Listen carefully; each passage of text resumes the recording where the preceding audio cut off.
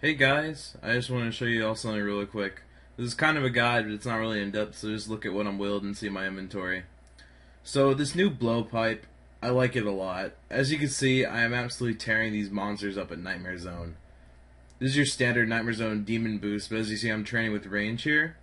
Now the only other time I've seen people train range here is with iron knives for AFK like 35k XP an hour.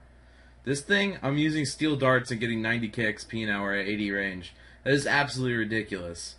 If you use all of your points on essence and herb boxes and sell it all, this method is like 1 GP per XP. That means about 11 mil GP for 99. And when compared to Chinchompas, it's about 35 mil saved. You take full void with you, the blowpipe full of steel darts, 7 overloads, and the rest of your inventory is pea pots.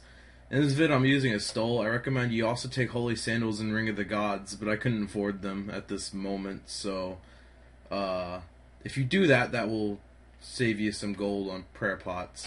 On top of this, each session is like two hours long, so you could do a herb run every time you're done.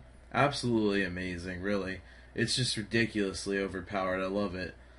Now, don't get me wrong, chins are still about three times faster, but keep in mind they cost four times as much and don't even come close in cost efficiency. There's also the risk of DCing an Ape Atoll and losing your chins, so that's not very fun.